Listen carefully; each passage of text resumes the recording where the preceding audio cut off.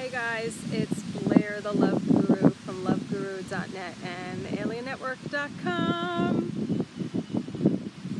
And it's really fucking hot every single day because, you know, this was on the agenda, right? We talked about it in the beginning of July. Actually, at the end of June, we talked about it. Magic, come over here. They didn't announce anything about the heat, but the heat wave that we're having, I mean, you can't possibly think that this is natural. I don't. I don't. So today we're going to talk about what are we talking about? I seem to have my topic and then I forgot about it. Um, there's nothing cute about ignorance. There's nothing cute about ignorance, or really, I guess the saying is there's nothing cute about denial. That's what Zeke has been saying to me for the last uh, few days. Ooh, sexy. It's my bra. Um, oh, what kind of angle should we be at? Okay.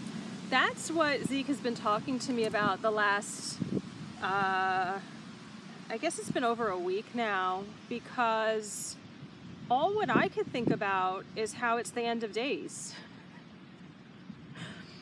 Um, which is not exactly a positive thought, you know? It, it's not uh, exactly like a, a happy thought it's not exactly like a thought that you know like it brings anxiety like it brings some fears and um, concerns and um, some tears at times yeah. I mean it's definitely brings up emotions at times. And it's it's weird because i will listen to some fellow light workers um, which I have talked about how if you're an indigo warrior, um, you can call yourself a light worker, but you're really not a light worker. Like, um, we should, we need to like specify what these words mean. And I talk about this uh, in the products that I offer on my website, thealiennetwork.com, uh, because I'm not giving out all this information for free anymore, you know? This is my work and I am honoring the energy that I put out. And um, I hope that you continue on this journey with me because um, if you want to learn, you have to pay. Not always, but yeah, that's how it that's how it works to accelerate. That's how you honor other people. You do an exchange.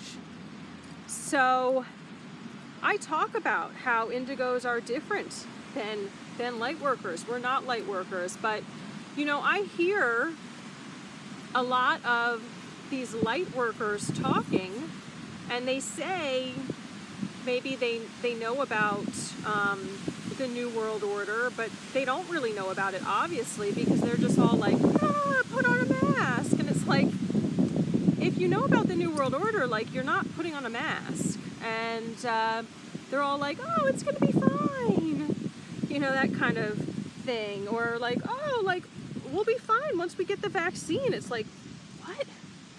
So there's definitely this division amongst the spiritual community. I mean, I'm I'm definitely feeling it. Like I don't I, I don't feel attracted at all to these type types of light workers that are like completely clueless. And really, I just feel like being around my tribe, my indigo warriors. Um, and not all of them, you know, because there's plenty of clueless indigos. and there's there's plenty of indigos that are still like day and night just work, work, work, and um, not doing their mission, and um, also totally clueless that you know we're experiencing the end of times. it's like, you know, it's like if it's if it was the end of times, like would you want to know? And I, I kind of play around with this because um, I try. Like, part of me plays with that idea of like, first, did I go into like a negative timeline? Am I like not seeing things clearly? And I'm always like asking this question, and Zeke always says to me, Blaire, there's nothing attractive about denial.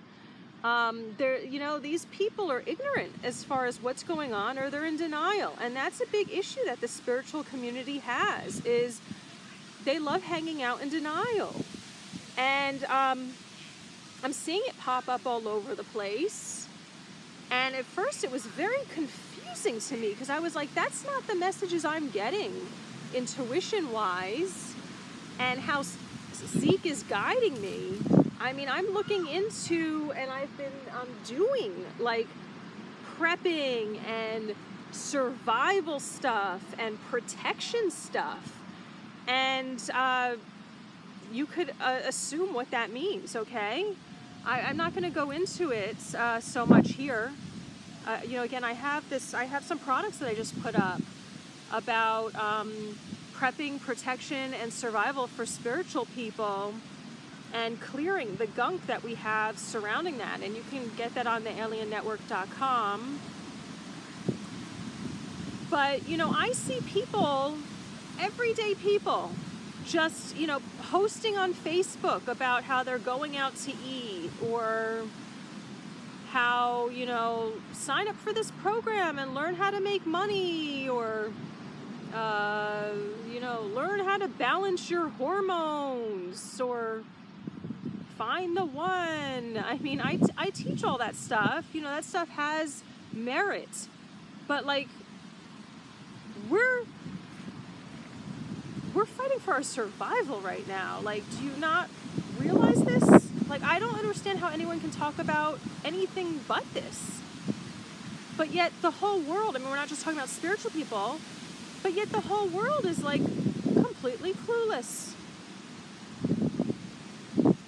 I'll leave it at that.